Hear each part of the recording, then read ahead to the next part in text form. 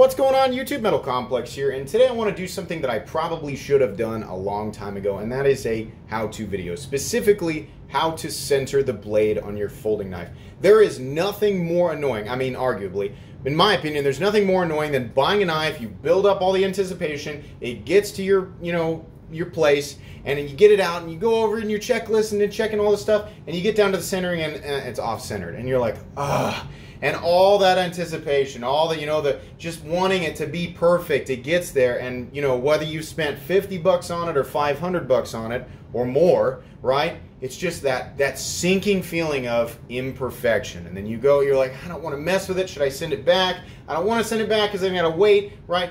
Most of the time, you can make a simple adjustment. Um, a few steps can make that centering perfect, and at the same time uh, you'll still have good action and it will lock up solid. That's what we're going to try to achieve here today. I'm going to show you guys how to do that. First off, I want to say that this is not a guaranteed fix. There's a lot of things that can play a role in whether or not this actually works out. First and foremost, if you've got a knife that's $5, if it's a $5 knife, this isn't definitely not a guaranteed fix because the knife wasn't created with perfect tolerances to begin with, or at least that was not in mind, right? It was just kind of slapped together. You get what you pay for, so this may or may not work. Second off, depends on the washer setup. If you've got nylon washers, it's everything's going to be a little bit mushy, so it may not work as well, right? Especially if it's a less expensive knife. Phosphor bronze washers and bearings tend to work better, right? Or it's easier to center a blade on those setups. Also, if you've been beating on your knife for 10 years and everything's bent, this probably isn't going to work, right? So that's going to be the case. If you've got a the the uh, knives that I have actually done this on, where it's actually worked, right? Uh, liner locks like the Kizer Domen here, and this is actually going to be the one that we're going to be performing surgery on today. Axis locks or able locks like on the uh, Ritter Hogue here. Um, those will this should work on them. Uh, compression locks like the uh, Spyderco Para 3 uh, or PM2 that you can see here. This one is well, it didn't look centered, but it actually is centered.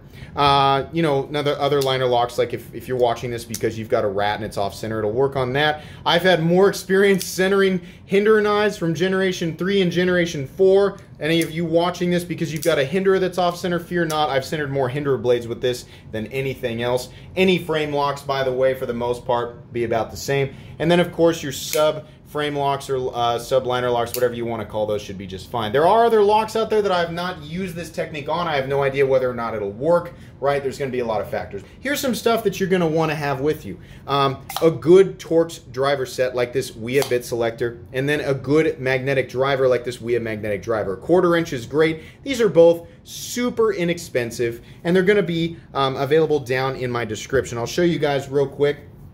If you open up the description in any of my videos, you can see it shows my Redbubble store, my Patreon if you want to support my channel, and then I've got my sister channel, Silent Complex, if you don't want to hear my voice, but you still want to look at knives, and then I've got tons of like knives and a whole bunch of stuff here. But if you scroll down here to your knife maintenance stuff, you can see here Wiha quarter inch uh, Torx bit selector. You can choose that right there. Um, so you're gonna want gonna want to uh, have something like that. Also get yourself some. I know this is a red container, but blue 242 Loctite is actually what this is called. Why? Because red Loctite will seal everything in place and it'll be a pain to get it apart. You want it to be together and you want it to stay that way, but not to the point where you can't get it apart. So 242 Loctite or thread lockers, is what you're gonna want. You're gonna want a piece of notebook paper that is roughly, and I say roughly, I mean that, like five by five five inches by five inches because you're going to fold it up. I would suggest having another set, another quarter inch set, preferably because those bits are everywhere. But if you don't, that's fine. Just another one, just in case you have a pivot that's got, um, uh, you know, like um, an adjustment uh, head on both sides. You might need to hold one in place if it's a free spinning pivot. So it's a good idea to have another one. If you've got a Hinderer, you know, you might want the spanner tool. If you don't want to pay 80 bucks for the spanner tool, get yourself a quarter inch magnetic driver, and then go down to your local hardware store and buy a quarter inch um, spanner tool for about a buck fifty. And then if you don't want to mess up the pivot on your Hinderer, just use a penny because the outside of it is copper and it's much, so uh, much softer than the steel on the uh, pivot. We're going to move this stuff out of the way because they really were just examples of knives that I know for sure this will work on. And we're going to focus on the Kizer Domen, um, the uh, the knife in need of operation. So I know for a fact, and this is going to be the case with a lot of knives, Um, the pivot on this guy is a T8 and the body screws are T6. I do not like T6 because they strip. We're gonna go ahead and get out a TA, T8, sorry, and a T6. I wish everything was T8, but that's we can't always get what we want, right? So, anyways, guys take a look here. This is gonna be the case with most of you. Your blade is gonna be all the way over to the right. Now, if you've got a blade that looks like this and it's not rubbing, it really is okay. It really, everything really is okay. But I'm going to tell you, speaking as one of you, I understand the need to, to, for it to be perfect, right? I get that. But for those of you who want to jump into the comments and go, it's fine, you don't need to have it centered, everything's fine, you should just use your tools. We know, but we want it centered anyway, so save it, because we're going to go ahead and do this. Um, let's go ahead and stick the uh, T8 in here. So here's what you're going to do you're gonna go ahead and back the pivot out to the point where it is definitely like backing out, right? So you can see here we've we've got the pivots where it's like it's coming out, and this is gonna be uncentered, right? Um, and then also you're gonna in this case we're gonna switch to the T6. Just the screws that are on the side wherever the blade's leaning, right? It's leaning this way, so we're gonna be taking these screws right here and just backing them out a little bit to the point where they're loose, not falling out, right? But definitely not tight. You want things loose. Then what you're gonna wanna do is take your piece of paper, and I'm not going to be able to explain exactly how this works because I don't make knives, right? But you're going to take it and you're going to fold it, probably a bunch, right? You're going to fold it. Right? Finally, my air turns off so that we can hear talking. You want to get it fairly thick, right? Not so thick, but what you're going to want to do, in this case, I want the blade to move this way, right? So I'm going to take this piece of paper, I'm going to pull the blade over, and I'm going to wedge this piece of paper in beside the blade. And I'm going to, well, did I miss? Sorry, I'm looking through the camera here. Let's Let's turn this way. Get it on, make sure that it's on the, the right part of the blade, right? So there we go. So there, and then you're gonna push it up to the point where the blade is pushed over and it's not like bending, because the more you push it up, it's gonna bend everything. You don't want that to happen. You just wanna push it over enough to where the blade is touching the opposite side. You want it to be moving towards where you want it to center. The very next thing you're gonna wanna do, if you have your T6 installed, make sure you switch it back out because you're going for the pivot this time. Now, you're going to tighten that pivot. Well, make sure the head is all the way in. Now you're going to tighten this thing down. And I mean all the way down. Not be careful here because here's what you want. This is why this thing is awesome, by the way, because I can get a good grip on it and I can put torque on it, but it's controlled, right? And it's also why I like T8 because you can put some torque on this without risking stripping it, right? You want this thing cranked down, but not to the point where you can't get it undone and also not to the point where you risk. Make sure that that's all the way in there. You do not want to strip this out. You strip it out and you're done, right? You want to get it cranked down, right? So I can I can still undo that, but it's tight, right? Now, while the piece of paper is still in there, if you don't have to switch, you're lucky. If you got T8 body screws, you're in luck. Everything's going to work out just fine. If you do have to switch, make sure you switch to your T6 or whatever it is you need to switch to. Now you're going to crank these down. If you are working with T6, be careful. You can strip the driver and you can also strip, strip the screws. You don't want that to happen, but you do need these to be fairly snug. So what we're going to do is get these down snug. Don't over tighten them, just get them snug, right? So we're to keep going, just kind of feeling it out there. Okay. These are feeling pretty good. And I, I just kind of go back and forth and just do little micro tunes. You kind of learn to do these little little little adjustments at a, a little bit at a time, right? So now what you're going to want to do is take this piece of paper out. And ideally, it will look just like this. And you're going to say, complex, that's not centered. It's over to the other side. This is actually what you want. This is good.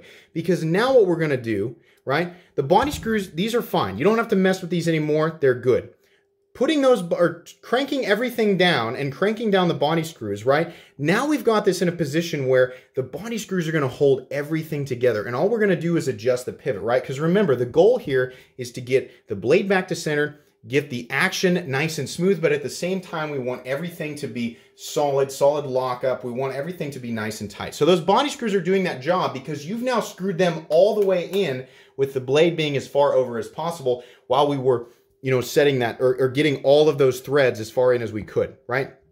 So now here's what we're to do in this case. Switch back to the correct uh, head for your pivot. And you're to slowly start undoing this. And I want you guys to watch what happens to the blade as I turn this backwards, right? You're just, I'm slowly turning it backwards and look at that. the blade is gonna slowly come back to center. And as you're pulling that out, you're also loosening it back up. So now it will actually come out. Now, when it was cranked all the way down, let me show you guys this.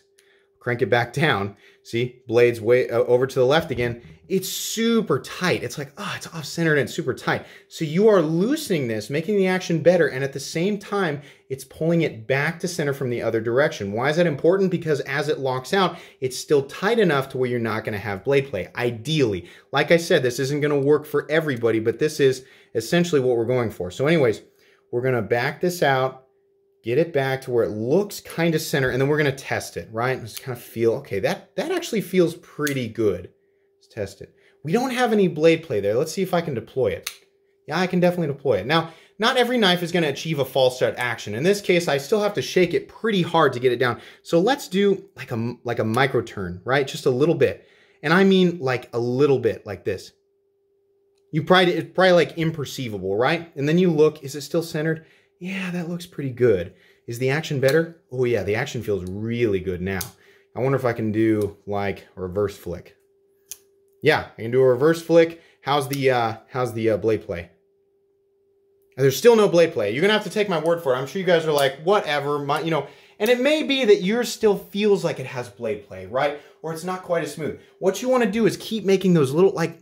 Sometimes I'll close my eyes and just feel like the slightest bit of movement because on knives that have really, really close or really tight tolerances because they're precision made items, the slightest turn can make all the difference, right? And sometimes you have to make those micro turns to get everything to do exactly what you're wanting it to do. Once you find that it is actually something that's achievable, right? Then what you want to do, and you're going to have to back this out again, then you're going to want to use your 242 Loctite. And here's exactly how much you should be using on the thread. Let me see if I can get it to focus. Well, there we go. I got some on my finger. This right here is roughly the amount that you need on your threads, right? You do not need to soak the pivot in thread lock. That will inevitably lead to nothing working correctly, right? You don't want that interacting with the outside of the pivot barrel and the blade, right? It's just meant to hold the threads in place. And if you get it on one side of the threads, just that much of a dab, as you screw that back down in there, those threads will spread it everywhere, right? So you're gonna back the pivot all the way out. And I know we just got it nice and center. We got it nice and smooth. You're like, you're gonna make me back this all the way out.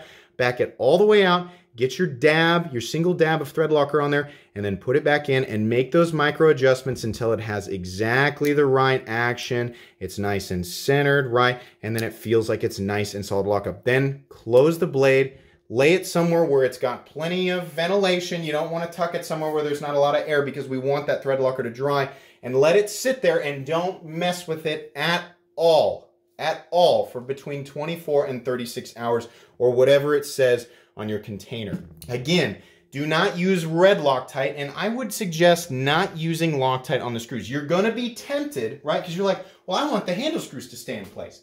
Consider this. If you've got T8 screws, it's still gonna be a problem because, you know, you still have to mess with getting them back out, right? But if the pivot assembly is staying in place, it's likely that these are going to stay put, right? If you've got T6 screws like this, you want to put thread locker in there. What if you have to make an adjustment in the future again? Then you're working against the size of the head, the size of the bit, and the fact that they've been thread locked in there. You're much more likely to strip something out. So my opinion is keep the thread locker off the handle screws as tempting as it is put it in the pivot. Don't use red, use blue, 242 Loctite, even if it's a red container. If it's 242, it's the right stuff. And then let it, let it, uh, let it settle. Um, you're going to end up with a knife that uh, will allow you to sleep at night. It's going to be able to deploy. You can put it away. It's going to be nice and smooth. That blade will be perfectly center if you've done it exactly right, and you can you can feel good about it. Guys, that's going to be pretty much it for this demonstration. I felt like I should do this because I, I mean, I have stressed over this. Believe me, this is definitely, you're not alone if you're stressing over this. It's very frustrating to get a new knife and it's not centered, right? Now, for a lot of you, this will work for knives that have just come off center over time and you try to adjust the pivot, right? And it just doesn't come back to center. A lot of times things just come out of whack. So this will, um, this will, uh, you know, for a lot of you, this will work just fine. But that's going to be pretty much it for today's demonstration. Um, let me know if you uh, tried this and it worked for you. And like I said, if it didn't work for you, uh, it may not work for everybody, or you might actually have an issue with your knife, so you should contact your retailer. Um, but uh, if this was helpful or you enjoyed this in any way, shape, or form, please leave a like. If you'd like to check out my other content, I do, of course, have lots of videos of knives that are either expensive or inexpensive that I do or don't like, so check those out. And if you enjoy all my content, go ahead and click on this Metal Complex logo right here and subscribe because there's definitely more coming. Thanks again for watching, everybody and have a great day.